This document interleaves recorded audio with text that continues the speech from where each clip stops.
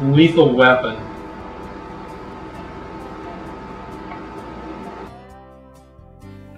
Lethal Weapon has a great pedigree and he's a great individual. His line bred hybrid pedigree includes Cowcatcher, twice to Texas Ranger, Doherty 698, WR 2308 Classic, and Not Too Shabby, which is a cow that was a 7-8 sister to Measles. His sire, Tri-W Lady's Man, is pictured here at age 2. He's got the good flat horn and sired a lot of great cattle. This is his dam, Legal Lollipop, who is a daughter of the Texas Ranger son Tri-W Broken Arrow. All these cattle came from the embryo program.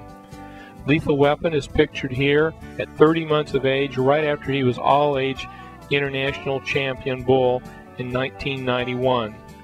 Here he's four years old, and what a beautiful bull he developed into probably the nicest profile of any longhorn bull we have ever seen. It just doesn't get any better than this.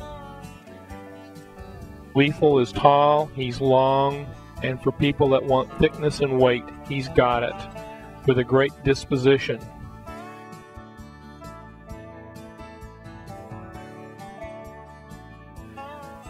This is Lethal Blade, one of his sons, that's over 64 inches and weighs up to 2,200 pounds.